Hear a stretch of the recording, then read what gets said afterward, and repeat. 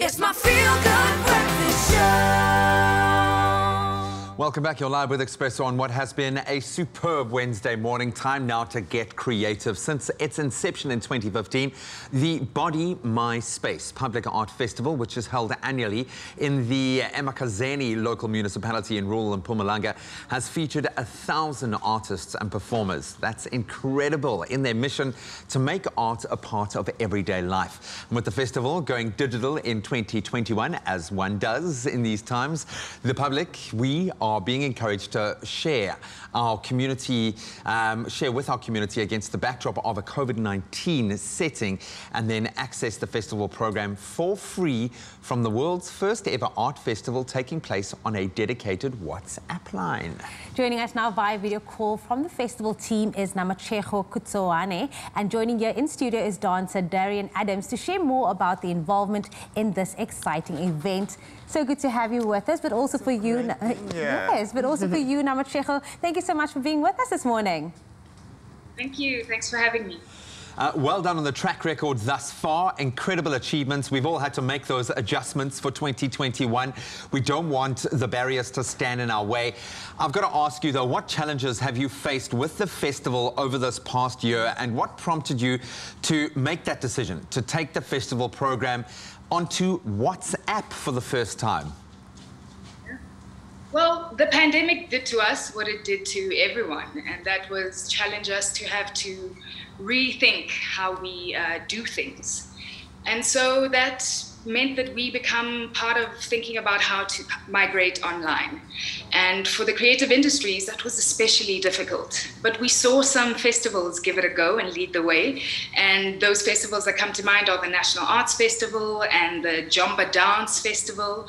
So they helped us to think about how the My Body, My Space Public Arts Festival, which, true to its name, was a public event, could rethink the intimacy that the festival created when international artists and enthusiasts descended on the streets of eMakhazeni where performances, installations, and exhibitions were showcased. How, how do we realize that in this um, digital reality? So we asked them, how, what did you learn? And true to our form, what is the forgotten angle? And we discovered that a lot of the content made available online is high definition, long form, and where data is very, very expensive in our context, it means that people who are on the margins of socioeconomic comfort are potentially missing out on this. And through a lengthy process, we found out that WhatsApp might be the very best way to digitally democratize um, you know, to democratize the digital space.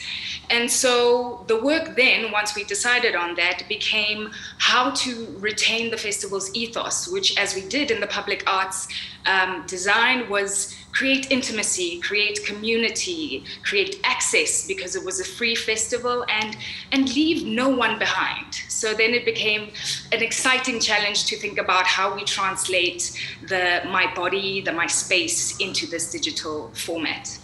Digital democracy. I love that. Love that. Now, now Mashika, I also have to ask you, of course, with the festival featuring over 70 works from artists in various locations around the world, what did it actually take to put everything together sure. in this way, and what kind of pieces were submitted? Ooh, so much work, so much work. we cast out our net um, with a call and we engaged our networks. Um, lots of our prep involved countless Zoom powwows and collective shaping with our friends and thinking partners and collaborators.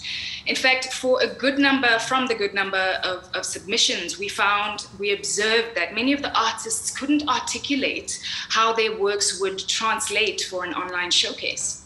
And so that pointed to how this pandemic has asked of many of us to learn new skills in order to successfully adapt to this reality and survive the digital realm, right? So to meet this, we developed a training program with our festival partners, Low Def Film Factory and Phoenix and Owl to facilitate the training process towards um, upskilling some of our participants and coming out on the other end with product. And some of that product that's come out is so cutting edge stage and really gives the more established artists a run for their money. And that was made possible by the Department of Sports, Arts and Culture and the National Arts Council of South Africa, who made it possible for us to also commission artists to have some income at this time. I mean, part of the big worries of artists at the moment has been how do we live? How do we eat? You know? But it also took a lot of uh, learning about how the platform works. And if you're familiar with the World Health Organization and South Africa's COVID helpline, it's very similar. We'd already decided that we want to go low definition um, and short form as a counter to what was happening in the migration. And so the platform service provider's limitation that we could only upload 25 megabytes of media became a big part of how we guided the artists for how to work with their content. That 25 megabytes is about three minutes of um, video.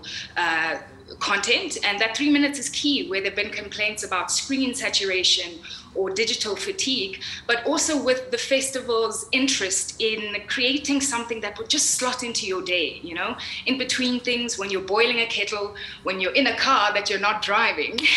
there are menus of works that you can enjoy um, dance, theater, workshops, an exhibition, fine art, some podcast style offerings, and crafts, even. You know, forget about rolling with the punches. This seems like a quantum leap forward in, in development. This feels like the most positive kind of evolution of what you could be doing.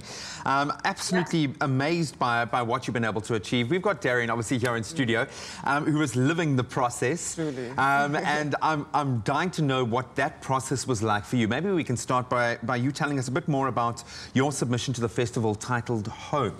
Yes, so I created Home.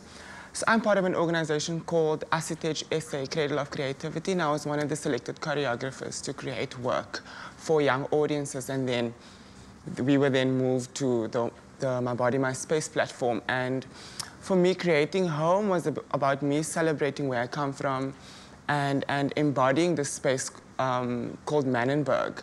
Um, and really celebrating the space and the beauty of the space. And I um, called on friends who are all purely based Manama creatives and intellectuals who, and we decided that this is what we're going to create for us to reclaim what home is for us and to beautify and to say that Manenberg is a wonderful and a gorgeous space besides all the negativity that is already there. So, and it was my personal journey coming from lockdown, being stuck at home, and then me accepting that space as wonderful, beautiful, and safe specifically. And that's what prompted me to create Reclamation Home, yeah. I, I love that. A cathartic journey as well. Was it difficult squeezing all of that into three minutes? Truly, it was very difficult, but um, I think I discussed it with a lot of people um, at home and what home meant for them. And we had to quickly just squeeze it into a space that I think people will recognize as the Manenberg space, which is um, what they would call the courts. And to have the people witness it and the kids witness it, um, it was more really about us as a community celebrating and yeah.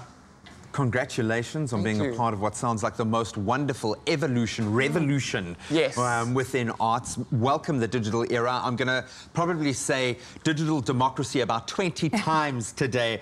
Uh, uh, thank you so much for the work that you have clearly put in on the back end of this now. Hopefully you can just enjoy the fruits of your labors by seeing some amazing artwork being enjoyed by South Africa at large. And I'm going to reiterate that the My Body, My Space Public Arts Festival is accessible via WhatsApp. You can just send hi to uh, 076 011 0444. That number's on screen. We'll keep it on all of our social media platforms and proudly um, promote that. Just follow the prompts and um, it'll be available up until the 30th of March. So you've got plenty of time to sink your teeth into what sounds some like some amazing contributions. So Darren, thank you so much for coming through Thank you so and much for joining us this, me. this morning. Hopefully that's inspired you. If you need more inspiration, let's turn to the silver screen.